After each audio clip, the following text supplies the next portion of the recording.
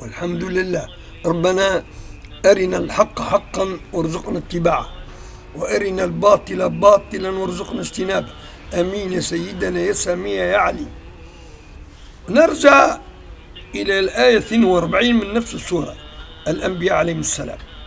قل Il s'adresse à notre patron, à notre bien-aimé Mohammed, que la. قل من يكلأكم بالليل والنهار؟ قولوا لنا شكون يحميكم من على مر الليالي والأيام؟ شكون يحميكم؟ قل من يكلأكم بالليل والنهار من الرحمن. يعني ضد ما قرره الرحمن ما أمر به الرحمن سبحانه وتعالى. شوف كيفاش. هو رحمن ترمي كورديو وعذابه ما أنتم تسببتوا فيه. أبدا هي حقيقته ما أرحم الراحمين. وحقيقتكم أنتم أسفل الأسفلين.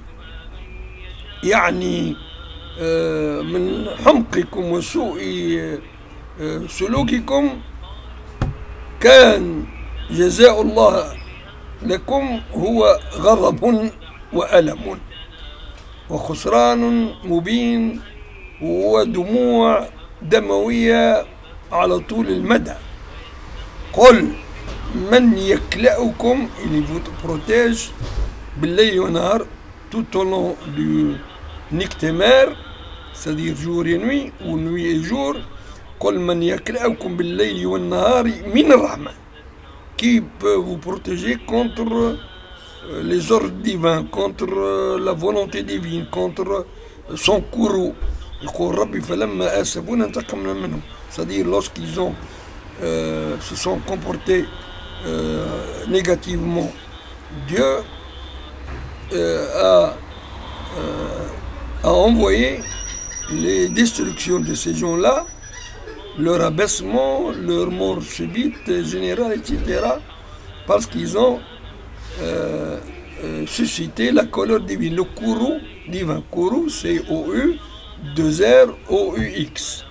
يقول قل من يكلأكم بالليل والنهار من الرحمن هذا اللي قاعد يعقدته في ثلاثة أشكال من الصهيونة في هذا الزمان الرديء. قل من يكلأكم بالليل والنهار. تو الليل ونهار وأنتم مكش محميين بلا مسلط عليكم ويبالكم أنتم الأقوى وأنتم الأغلب فإذا بي انقلبت بأمر الله الموازين وانقلبت الأوضاع وتخطوا بها. ماشي في بالكم بعد 76 سنة اللي أنتم دولتكم مش تبدأ لا نهاية لها إيمورتال اللي أنفيني. قل من يكلأكم بالليل والنهار من الرحمن؟ بل هم عن ذكر ربي معرضون حقيقتهم كانوا ما همش قابلين أن يذكروا ربي.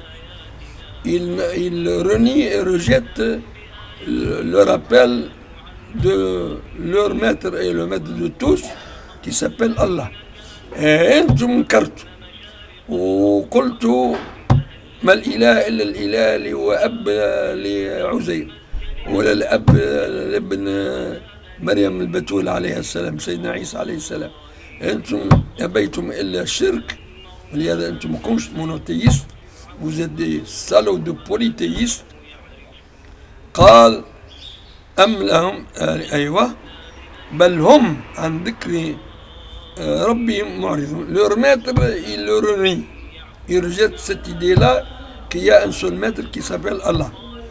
Euh, بل هم عن ذكر ربي معرضون c'est-à-dire ils se détournent euh, euh, en face de la réalité de l'unité de Dieu, de l'existence, la vraie existence de Dieu, qui est la vérité. قل من يكلأكم بالليل والنهار من الرحمن بل هم عن ذكر ربهم معرضون. أم لهم آلهة تمنعهم من دوننا لا يستطيعون نصر أنفسهم ولا هم منها يصحبون نرى هذا في الشريط الآتي إن شاء الله.